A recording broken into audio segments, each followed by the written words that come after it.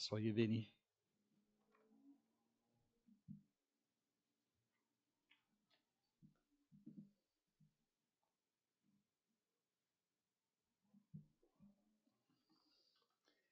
Juste préparer mes, mes petites affaires. OK.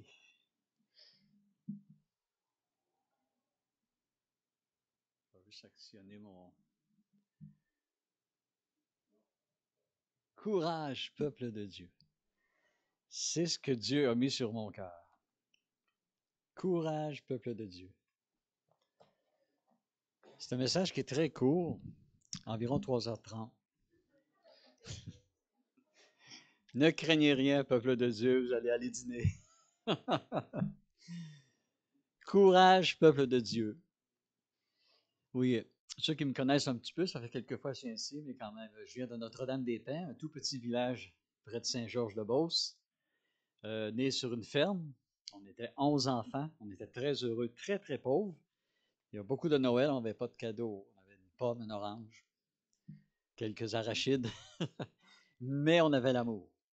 L'amour de mon père, l'amour de ma mère. Et j'ai, j'ai, à recommencer ma vie, je choisirais la même famille, les mêmes parents la même petite ferme. C'est une petite ferme, un peu la maison dans la prairie.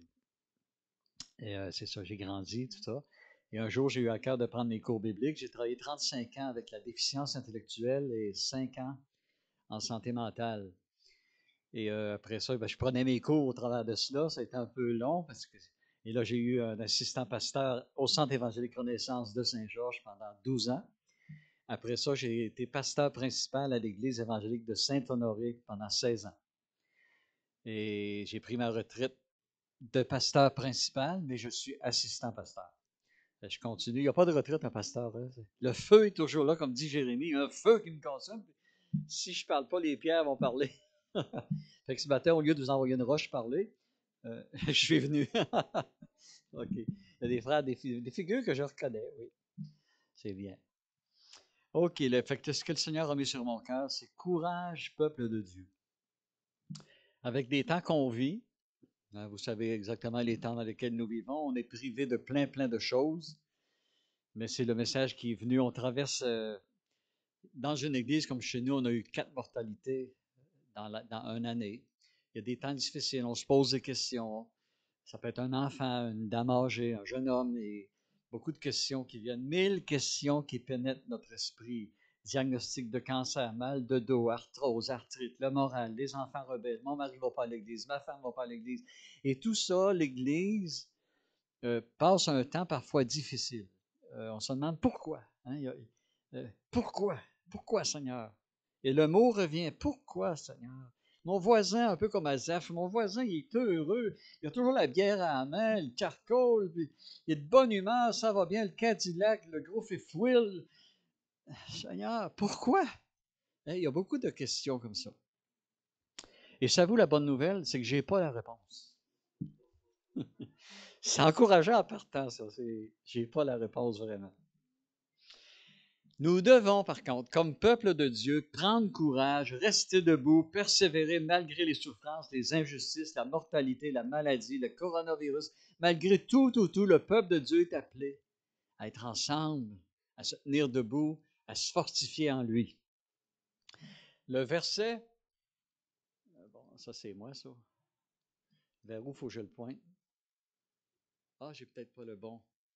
On va prendre l'autre. On va prendre l'autre. Euh, c'est la flèche, c'est ça? Puis je le pointe vers ça. Celle de droite. Bon. Courage, ça va venir.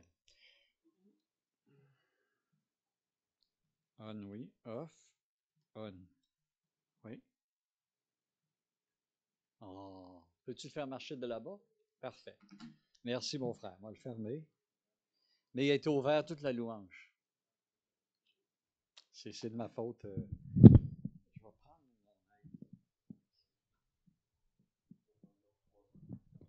Oui, courage, courage. Ils s'aident l'un l'autre et chacun dit à son frère courage. Le contexte d'Isaïe 41, 6 n'est pas du tout pour un peuple de Dieu.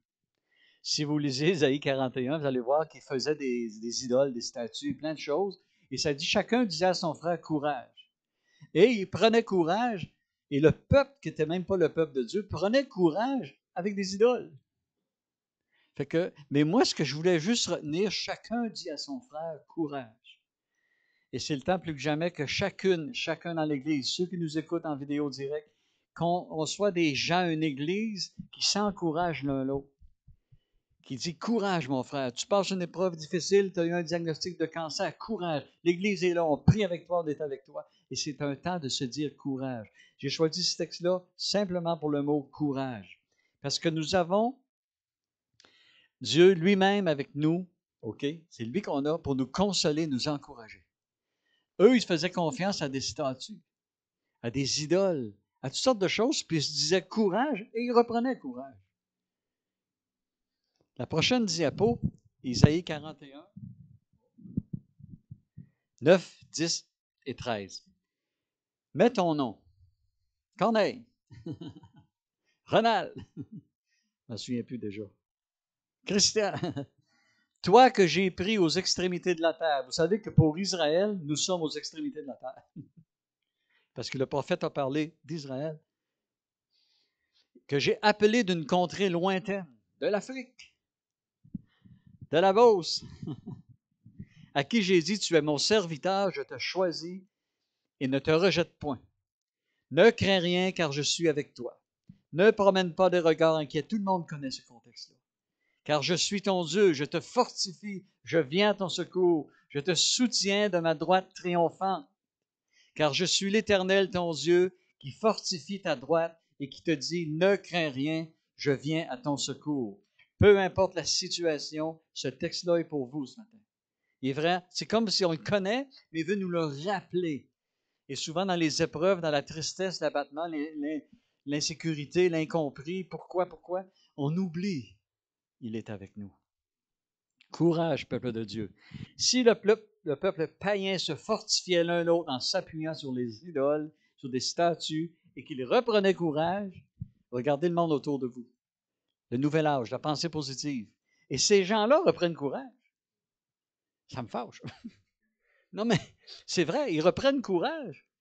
Nous, on a le Dieu qui a créé l'univers à partir de rien, puis on a envie de perdre courage. Gardons courage.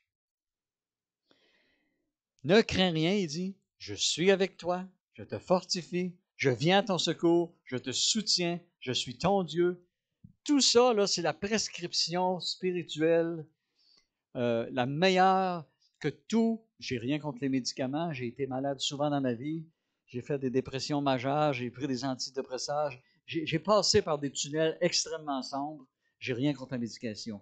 Mais je pense que la meilleure prescription a toujours été la prescription du Seigneur. Ne crains rien, je suis avec toi. Ne promène pas de regard inquiet, je suis ton Dieu, je te soutiens de ma droite triomphante. Ça, c'est la posologie la meilleure. Oui, on a besoin d'aide. Merci Seigneur pour la science. on a besoin d'aide de la science.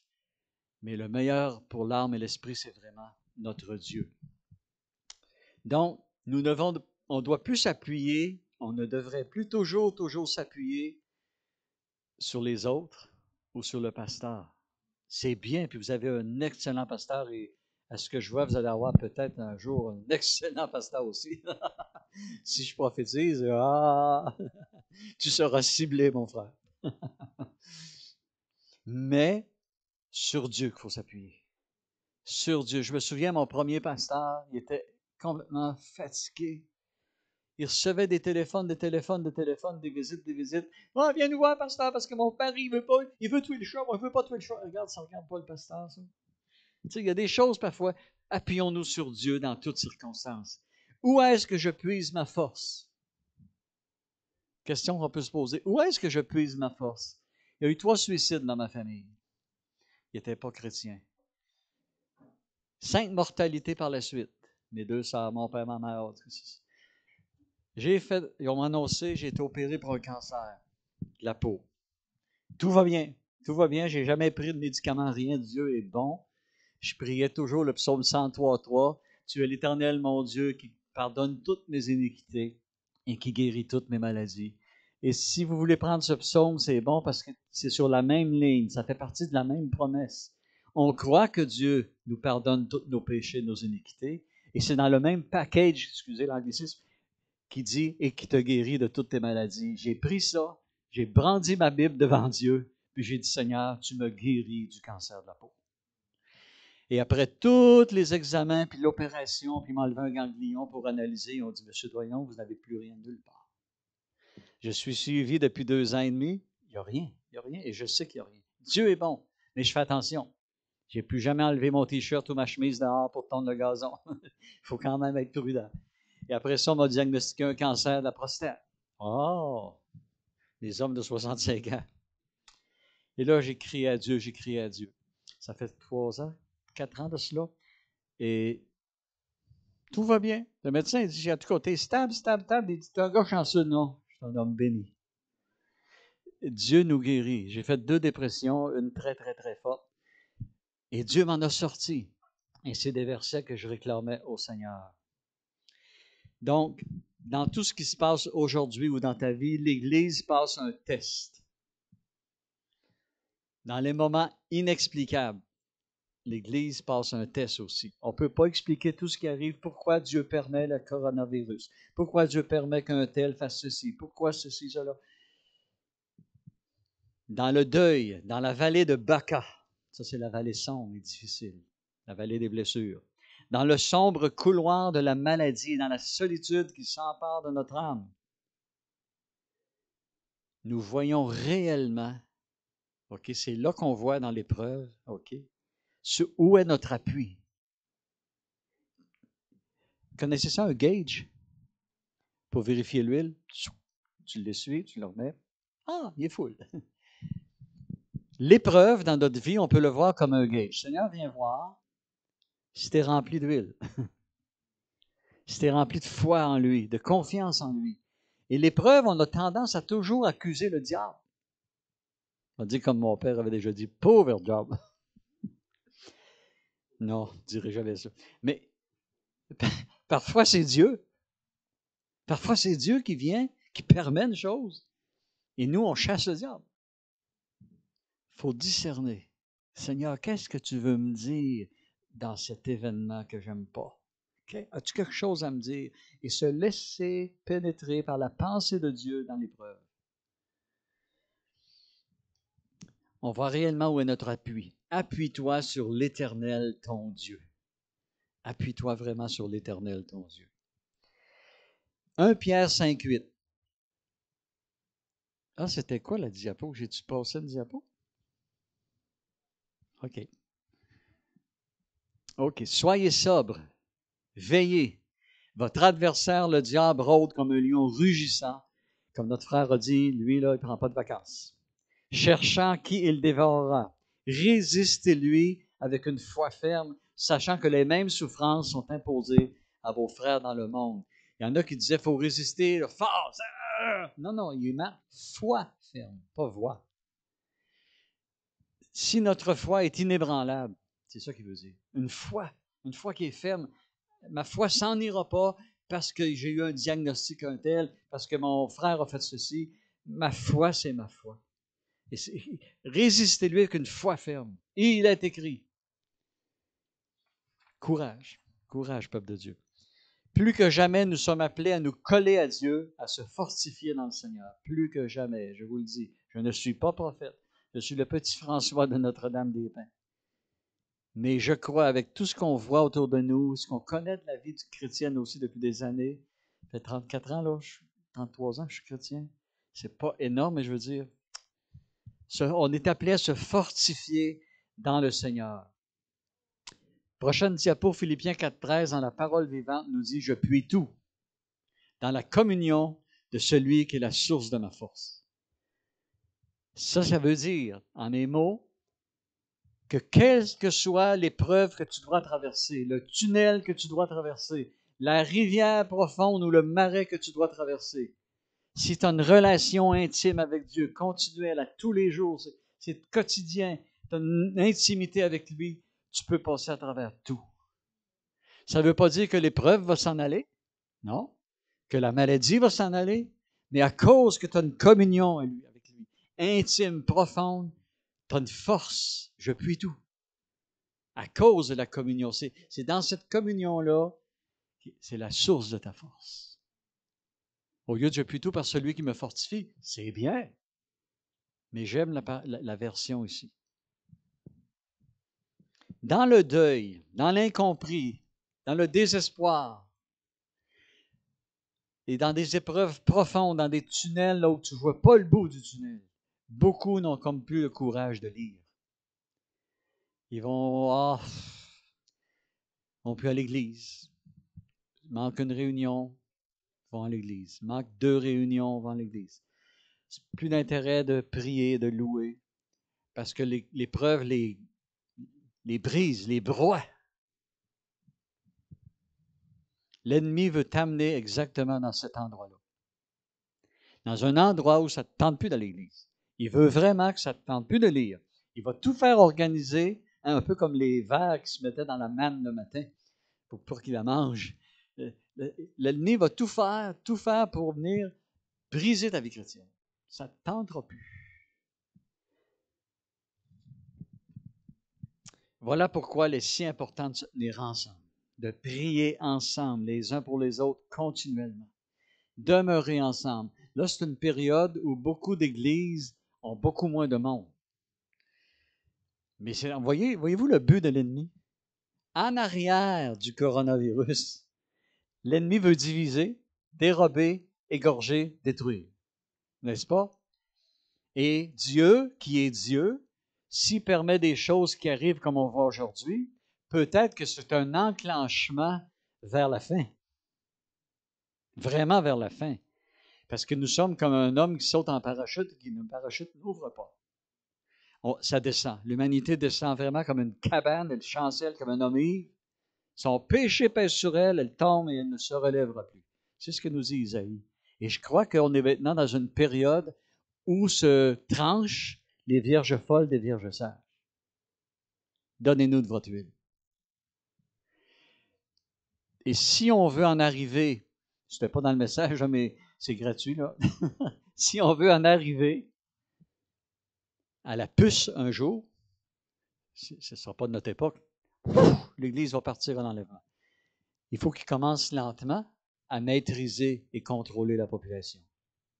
Tu ne peux pas arriver demain matin et dire OK, rendez-vous tous dans les arénas, dans les CHSLC, euh, dans les hôpitaux, on vous injecte une puce. Ils vont dire Oh, là, mais si on commençait pendant deux, trois ans à soumettre le peuple, à voir la soumission, la docilité des gens, un moment donné, va arriver après le mess, ce sera bon. Ben, on a trouvé, le plus le mess, c'est bien. Maintenant, on a un vaccin, OK. Après le vaccin, un meilleur vaccin et d'en venir vers la puce. Mais savez une chose. La puce n'arrivera. Ce ne sera pas dans le vaccin qu'ils veulent donner, n'ayez pas peur. La puce va arriver trois ans et demi après l'enlèvement. Apocalypse 13, nous le dit. Verset peut-être 10, 11, 12, vous recevrez une marque, vous pouvez acheter ni vendre. Et ça, on est rendu loin. Là. Ça veut dire qu'on a trois ans et demi d'avancée dans les tribulations. Quels sont ceux qui veulent partir avant? Moi, je veux partir avant. Donc, mais c'est ça, il commence tranquillement. ces choses-là. Et là, c'est dit, pourquoi Seigneur? Pourquoi Seigneur? On parle que Jésus revient, on parle de la fin, ben, un jour ça va arriver. Donc, il y a un procédé. Et nous, un peu comme lorsqu'il arrive une grosse tempête, OK? Avant que la pluie tombe, puis le tonnerre et tout ça, vous sentez les feuilles des arbres qui bougent, le vent, ouh, là, tu fermes les fenêtres et tu sens que ça va arriver. Là. Il s'en vient une tempête, mais il s'en vient une tempête. Et on va sentir des vents, on va sentir de la pluie, on va sentir quelque chose qui, comme on sent aujourd'hui, ça va aller à s'intensifiant. Jusqu'où le Seigneur va permettre qu'on ait peur, pff, elle va venir nous chercher, je ne sais pas. Mais il va venir nous chercher. Courage, peuple de Dieu. C'est dans la communion des frères, dans cette unité que se trouve la vie et la bénédiction. Je vous apprends rien sur le psaume, prochaine diapo, 133, 1 à 3. Oh, qu'il est agréable! Hein?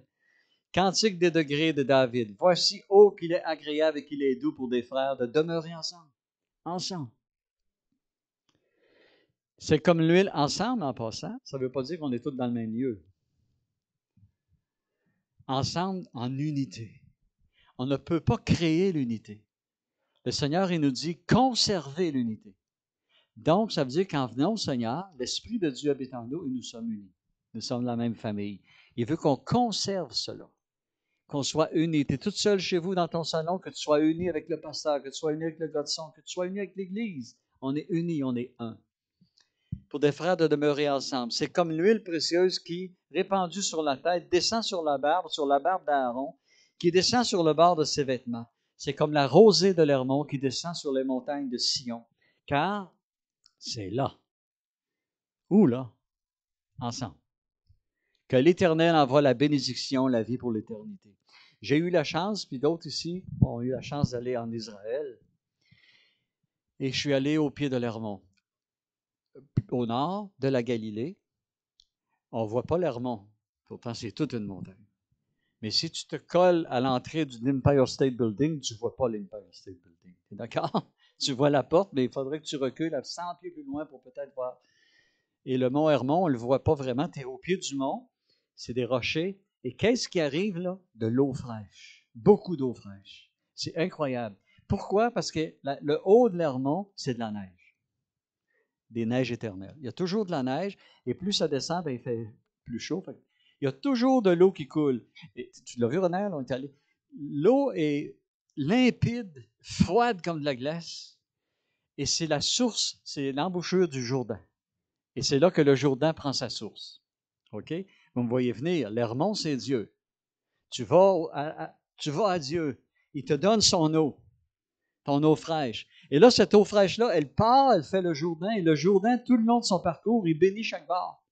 Il y a de la végétation, il y a des dattiers, des oliviers, c'est merveilleux de voir ça, c'est riche. Il y a beaucoup de kibbutz où ils vont, élever des animaux parce que c'est riche. Le Jourdain donne. Et nous sommes appelés à être comme le Jourdain, OK? Et c'est là qu'est la bénédiction de Dieu. Et le Jourdain se jette où? Dans la mer de Galilée. Pour nous, on appellerait ça un gros lac. Mais dans la mer de Galilée, la mer de Génézareth, c'est tout le même euh, nom. Et la mer de Galilée est remplie de poissons de toutes les sortes. Ne mangez jamais le poisson de pierre. Au restaurant, il y a un gros restaurant là. Puis tout le monde suggère le poisson de pierre. Ah! Il arrive avec les, les ailes, la bouche, les yeux, tout. Et là, il faut que tu le défasses, puis il te regarde. Mais la mer de Galilée est remplie de petits poissons, de gros poissons, de vie. Et tout le tour de la mer de Galilée, lorsqu'on regarde, c'est vert, c'est beau, des arbres, c'est merveilleux. Et la mer de Galilée, OK, c'est toi aussi. La mer de Galilée est remplie de vie. Elle donne, est généreuse, elle va arroser chaque bar. Et non seulement cela, elle donne par le Jourdain qui continue sa course et qui arrive où? Au sud, à la mer morte. Pourquoi est morte? Mon père qui l'a tuée. la mer morte est morte parce que lorsqu'elle reçoit l'eau qui est vivante, qui est belle, elle ne donne pas. La mer morte est fermée. C'est du sel. Il n'y a aucune vie. Des kilomètres autour de la mer morte, ceux qui ont déjà vu les photos, c'est blanc, c'est du sel, c'est brûlé. Et tu as le choix ce matin de vivre dans la bénédiction de la mer de Galilée qui reçoit de Dieu et qui donne, ou d'être la mer morte qui reçoit, qui reçoit, mais qui fait rien.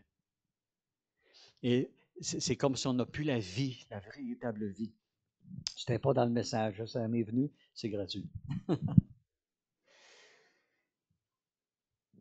Mais c'est là que la vie et la bénédiction, ou réponse ensemble. Tu vas au pied de l'Hermon, au pied de la croix, au pied de Jésus, son eau éternelle qui vient, qui te nourrit, qui t'abreuve, et tu vas maintenant. Et c'est ça la bénédiction. Tous ensemble à la prière, ensemble aux études, aux réunions du dimanche, se fortifier l'un l'autre dans les moments de grandes épreuves, ne pas pratiquer l'isolement. C'est pas bon pratiquer l'isolement dans un temps d'épreuve. Partage. Dans toutes mes épreuves, j'avais quatre ou cinq amis, là. Un en particulier, Ronald, est vraiment quelqu'un qui, je vais tout lui dire.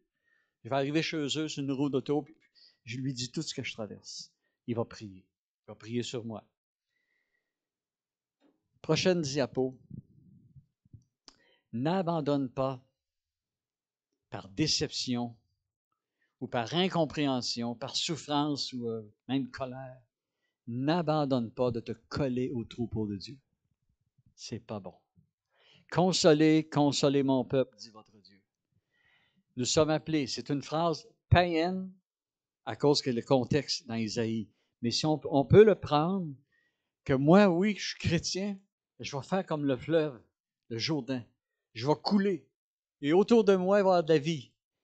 Et la grande mère de Galilée qui donne à son tour et qui est pleine de vie autour. Je vais consoler mon peuple. Je vais consoler les gens. Je vais m'informer. Comment ça va?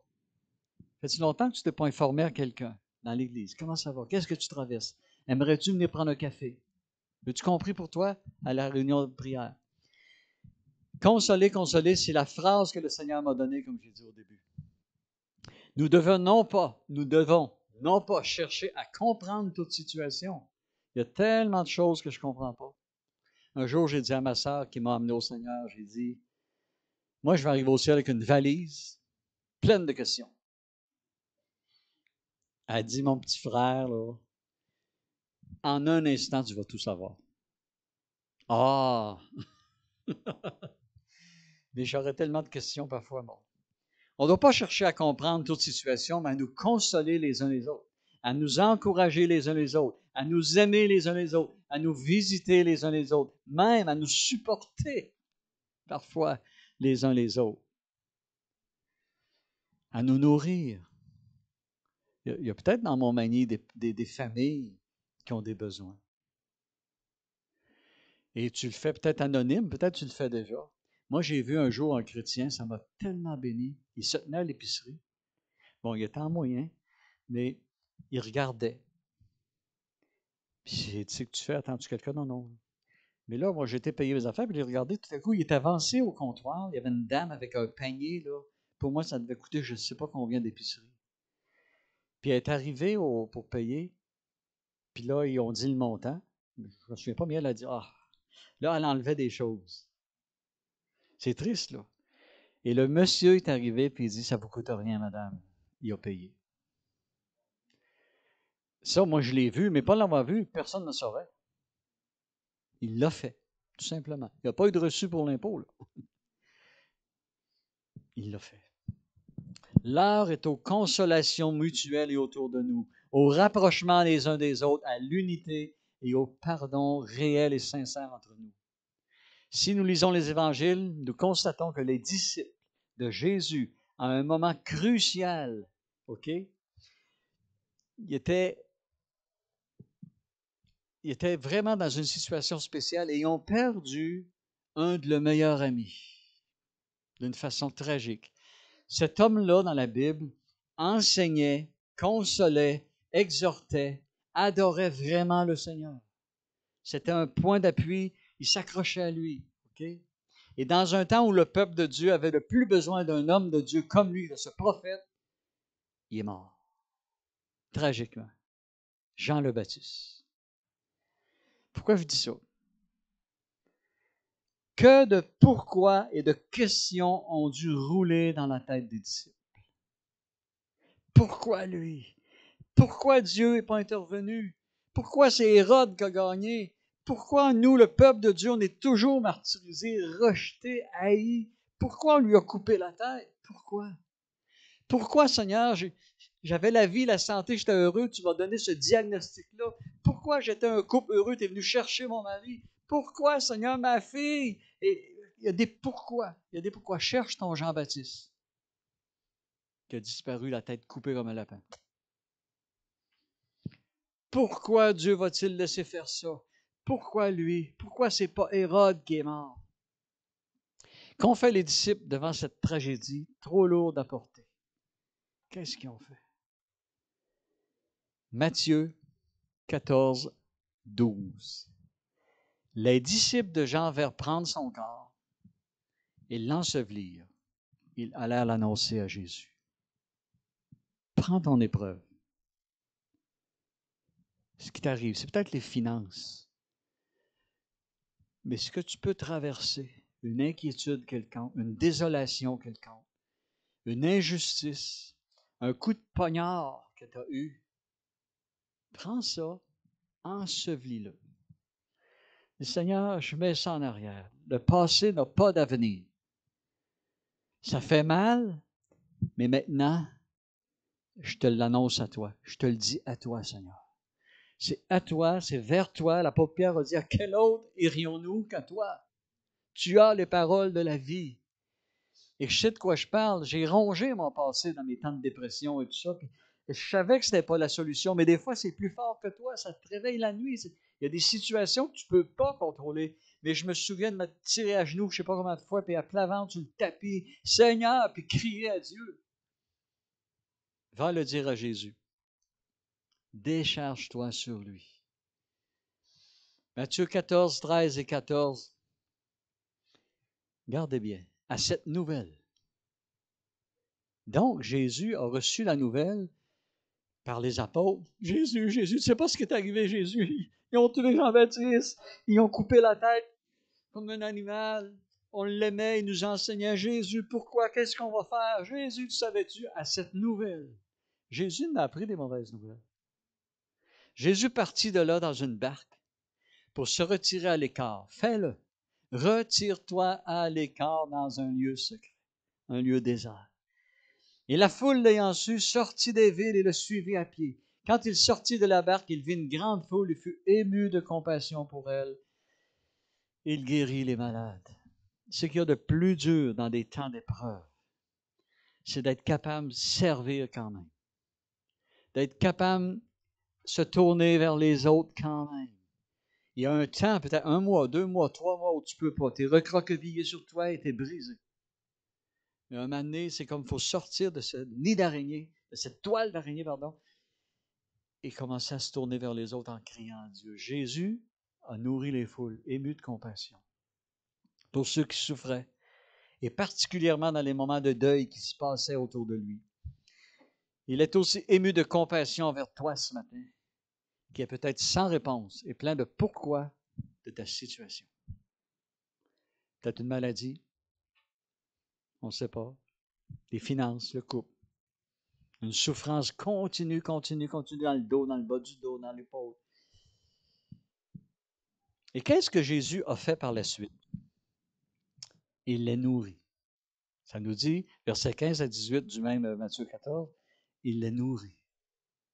Et si tu vas à lui, tu lui racontes tout ce que tu vis et que tu plonges les regards dans sa parole, tu te tiens près de lui, il va te nourrir. Il va nourrir ton âme. Tu sentiras rien.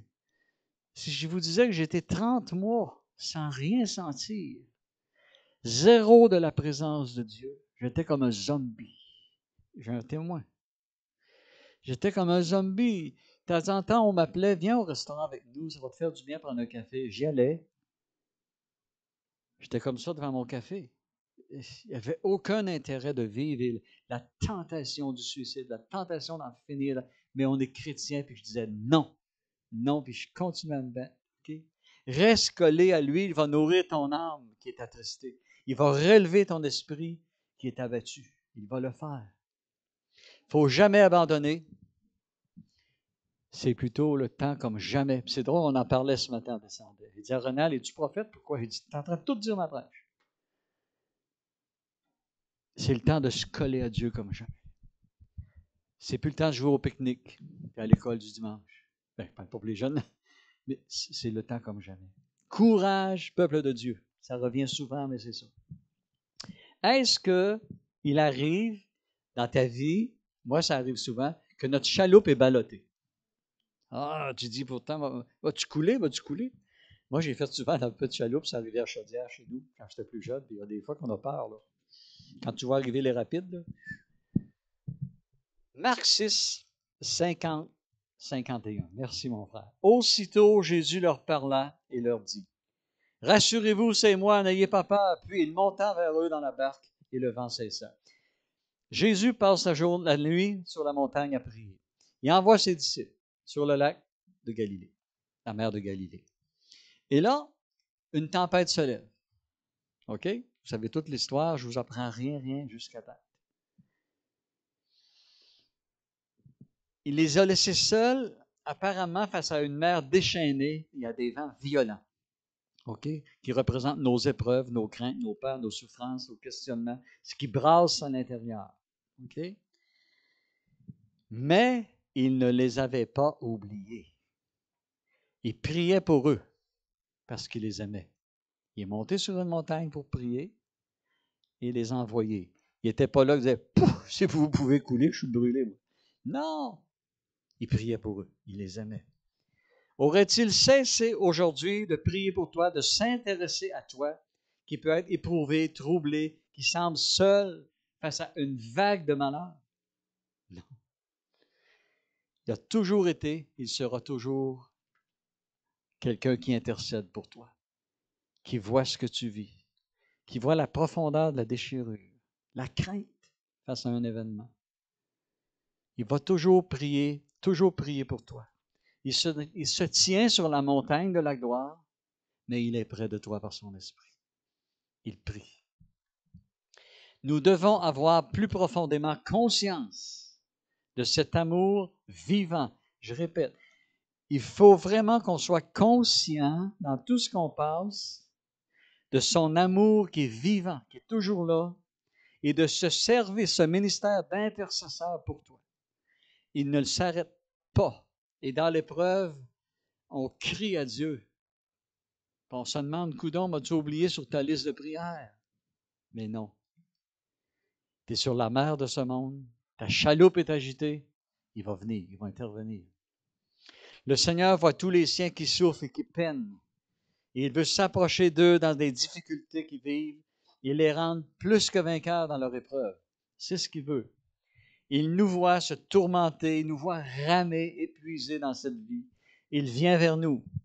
Notre peine, OK? Et son amour le pousse à intervenir. Vous avez eu des enfants peut-être pour le part. Moi, je n'ai pas eu. Je suis seul. Euh, ben, j'ai eu un divorce en 82 et j'ai resté seul. Euh, je n'étais pas chrétien. Je ne veux pas vous pas guider. oui, ah oui, ah oui. Non, je suis né au Seigneur en 1988. Mais il voit tout ça. Il veut intervenir. Et son amour, sa peine, le Seigneur ne veut pas que tu vives dans la peine. Il va permettre un temps de peine parce que dans un temps de peine, on se rapproche de lui souvent. Ta peine, son amour, le pousse à intervenir. Si vous avez eu des enfants, comme je disais tout à l'heure, et que ton enfant a tombé puis s'est écorché le genou sur l'asphalte ou la, grève, ou encore il est en danger, euh, ça ne va pas bien, peu importe son âge, il a besoin de 20 dollars, il a besoin de 100 dollars. La peine que tu as pour lui et ton amour pour lui te pousse à agir. Et c'est ce que fait Dieu. C'est la même chose, exactement la même chose. Quand l'habileté ok, des marins ne peut plus rien et que leurs forces sont épuisées. Ces gars-là étaient sur la, mer de Galilée, puis ils étaient épuisés. Le Seigneur est là. Quand ils ont lâché les rames et cessé de lutter, il fut là pour intervenir. Il leur apporte sa paix, son quotidien. Le vent tombe et ils éprouvent un grand calme. Il en est de même aujourd'hui. L'amour du Seigneur le conduit, le pousse très vite à ton secours. Dans la vie que tu vis peut-être, ou que vous avez déjà vécu, ça brasse. Tu rames, tu as peur, tu dis, je vais me noyer, ça ne marche pas. Ça va prendre un miracle pour qu'on ferme le mois parce que les finances s'écroulent. Ça va prendre un miracle, Seigneur, parce que la médecine ne peut plus rien faire ça va prendre un miracle pour que mon mari vienne à toi. Parce qu'il est alcoolique, il boit, il est rendu malin, il est rendu agressif, même les enfants ont peur de lui. Ça va prendre un miracle, Seigneur. Ça, c'est ta chaloupe qui brasse. Et le Seigneur, aussitôt Jésus leur parla, leur dit, rassurez-vous, c'est moi, n'ayez pas peur. Et je reviens à ce que j'ai dit au début, et je termine. J'avais dit que ça durait trois heures. N'ayez pas peur. Qu'est-ce qu'ils ont vu sur l'eau? Jésus qui s'en venait. Et qu'est-ce qu'ils ont cru? Que c'est un fantôme. C'était pas un mauvais esprit, c'était Jésus. Et dans nos épreuves, on pense toujours que c'est un mauvais esprit. Et Dieu peut arriver et te secouer un peu. Permettre. Amos 3, 7. Arrive-t-il un malheur dans une ville sans que l'Éternel en soit l'auteur? Elle n'est pas bonne celle-là hein, pour un dimanche matin. Mais m'a vous aider. Dans l'hébreu, ça dit Arrive-t-il un malheur dans une ville sans que l'Éternel le permette? Donc, si Dieu a permis qu'il m'arrive telle chose, la première chose que je dois faire, Seigneur, pourquoi tu l'as permis? Au lieu de dire, oh non, Jésus-Christ, esprit de dépression, de désespoir, je te chasse. Attends, attends, ça viendra peut-être. Et pour le moment, Seigneur, qu'est-ce que tu veux m'enseigner? J'ai plus de compassion peut-être pour mon amour, pour ma femme, à dire, ou mon, j'ai pas de femme ou toi, tu dis pour mon mari? Peut-être que je n'accorde pas assez de temps à mon enfant, c'est pour ça qu'il rebelle. Qu'est-ce que tu veux m'enseigner dans le diagnostic d'un cancer? Savez-vous, moi, qu'est-ce que ça m'a enseigné? Je n'ai jamais eu autant de compassion pour les personnes qui ont un diagnostic de cancer. Je vais les voir à l'hôpital, je vais les voir à la maison, je prie pour eux, je vais les voir quand ils sont dans une maison de fin de vie. Je supplie Dieu de les guérir. Ça l'a développé ça. Qu'est-ce que tu veux m'apprendre dans la dépression que j'ai vécue en 2018? Qu'est-ce qui a attiré de ça? C'est que tu as juste envie de vomir la vie. J'ai appris beaucoup. De plus jamais, jamais parler sur le dos d'un chrétien. De plus jamais, jamais oser souligner les mauvais côtés d'un pasteur. Ça m'a amené à prier, à aimer, à supporter. Ça m'a donné une compassion incroyable. Et quand j'ai vraiment saisi ça, ça a été long. Et quand tu saisis vraiment, puis du Seigneur, je m'abandonne à toi, je ne suis que rien devant toi. C'est grâce à toi si je vis. Et lentement la guérison. Lentement la guérison. Le Seigneur a toujours une leçon.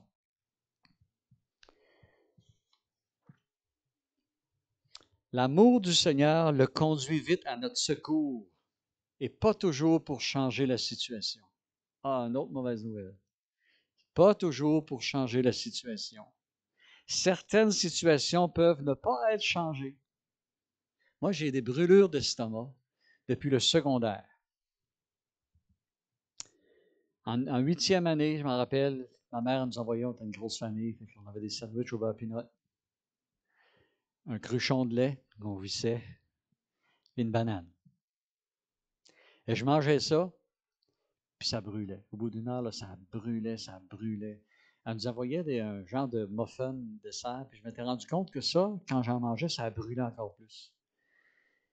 Depuis l'âge de. On a quel âge ça, là, 14 ans? J'ai 67. Ça fait combien de temps que j'ai des brûlures d'estomac? Puis je dis, Seigneur, quand le jour J va arriver? Et je prie et je demande, j'ai des brûlures d'estomac. Mais savez-vous quoi? J'étais musicien dans les bars. Et un musicien, oui, madame, euh, j'étais pas capable.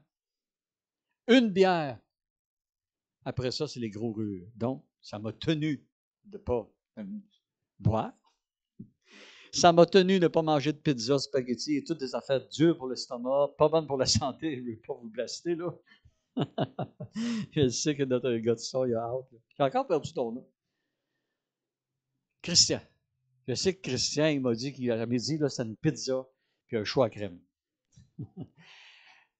non, mais ça m'a empêché de, de, consommer plein de choses. Et encore aujourd'hui, je me dis, Seigneur, j'aimerais ça être guéri, mais ça me retient. Je ne vois pas d'autre raison que les brûlures d'estomac. Si vous avez une prière à un moment donné, trou blanc sur votre feuille, écrivez mon nom, brûlure d'estomac. Donc, les circonstances, parfois, ne peuvent pas changer.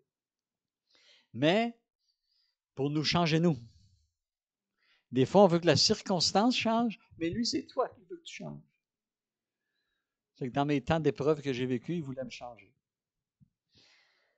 Pour nous calmer par sa seule présence. Le médecin me dit toujours, Monsieur Doyon, si vous avez des brûlures d'estomac, votre estomac est belle comme un enfant, il n'y a rien, c'est la nervosité Mais viens me calmer, Seigneur. Viens me calmer. Quand on dort, un calme. Ben, ça me réveille la nuit. Gaviscon, 26 pièces la bouteille. extra fort. Avant, j'avais faible, j'ai extra fort. Seule sa présence peut nous calmer, nous aider. Même si nous passons par la vallée de l'ombre de la mort et de l'inquiétude. Car il est là, au lieu même où se trouve la plus grande épreuve. Tu as une épreuve qui s'en vient, il reste trois minutes. Il y une épreuve qui s'en vient, il est déjà rendu. Puis il dit, viens mon enfant, on va la traverser ensemble. Courage, peuple de Dieu. Est notre grand souverain sacrificateur, notre intercesseur, celui qui t'aime et qui te dit, prochaine diapo, Hébreu 13, 5, que vous connaissez. Je ne te délaisserai point, je ne t'abandonnerai pas. On peut dire, lorsqu'on regarde en arrière, que c'est vrai. On a passé ça. J'ai passé ça, Seigneur. Je ne veux plus jamais le passer. Mais on a passé ça. Dans notre diapo, courage, peuple de Dieu. Gardez courage. Encouragez votre pasteur. Encouragez son épouse. Est-ce qu'elle fait encore la louange? Encouragez-le. Dites-lui, Sylvie, là, t'es la meilleure. T'es meilleure que l'équipe Nouvelle Vie. T'es, de l'orgueil. t'es bonne. Encouragez-vous. Et je suis content. T'es venu à l'église. Wow! T'es venu à l'église un matin. Je suis content. Donnez-y pas la main pour le moment, mais montrez-lui par un geste que Wow, je suis content de te voir. Et la diapo finale de ce matin. Oui, c'est ça. Au plus bas, hein, à mon plus bas, Dieu est mon espoir. À mon plus sombre, Dieu est ma lumière. À mon plus faible, Dieu est ma force. À mon plus triste, Dieu est mon consolateur. On nos têtes. Ô Seigneur, je ne veux pas que mes paroles frappent le plafond comme un discours. La console céleste, c'est toi qui mets l'effet. Je te demande de mettre l'effet sur ta parole. Tu dis qu'il n'y a aucune de tes paroles qui retourne à toi sans avoir accompli son effet. Comme la pluie, Seigneur, qui fait pousser l'herbe, qui donne à manger au cultivateur. Seigneur, que ta parole ce matin, comme pour moi et comme tous ceux qui nous écoutent par le biais de la télévision en direct, par dans l'Église ici, que ta parole fasse son effet, qu'on reprenne courage, qu'on aille puiser au pied de l'Hermont l'eau fraîche de ta parole, qu'on puisse, comme le Jourdain, couler vers ce monde et finalement, comme la grande mère de Galilée, bénir autour de nous. Ne permets pas que je sois ou que quiconque soit comme la mer morte, qui reçoit, mais qui ne produit rien.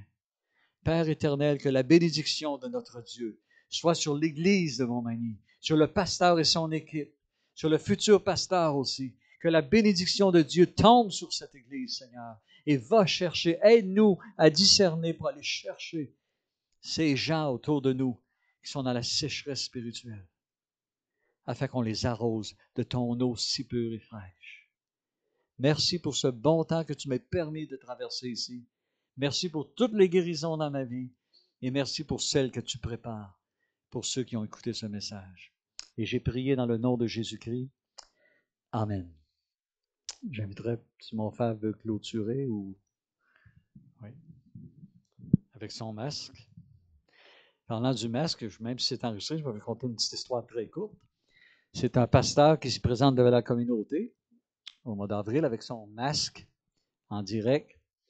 Et puis il dit, je suis tellement content qu'on ait un masque ce matin parce que j'ai oublié de mettre mon dentier.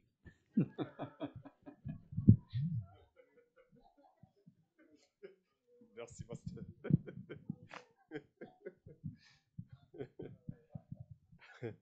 Amen. Que le Seigneur vous bénisse, pasteur. Qu'il vous, euh, qu'il vous remplisse davantage et qu'il vous utilise davantage pour sa gloire. Donc, euh, bien aimé, je voudrais nous inviter à nous tenir debout pour euh, la prière de clôture. Seigneur, nous voulons te dire merci pour la parole que nous avons reçue. Merci pour ton messager. Nous prions afin que tu le remplisses davantage, que tu l'utilises de plus en plus pour ta gloire. Nous voulons te recommander cette nouvelle, semaine. Tu es l'alpha et l'oméga, le commencement et la fin de toutes choses. Nous voulons que tu commences cette semaine avec nous. Nous te recommandons, Seigneur, chaque activité, tout ce qui sera fait, afin que seule ta volonté s'accomplisse. Ne permets pas que la volonté de nos ennemis s'accomplisse. Ne permets pas que la volonté de l'ennemi s'accomplisse, mais que seule ta volonté, Seigneur, comme t'avons demandé, puisse s'accomplir dans chacune de nos actions. Comme nous voulons, Seigneur, nous séparer, que ta présence aille avec chacun de nous et que la grâce de Dieu le Père, la communion du Fils et du Saint-Esprit soit notre partage. Au nom de Jésus-Christ, nous avons prié. Amen. Que le Seigneur vous bénisse.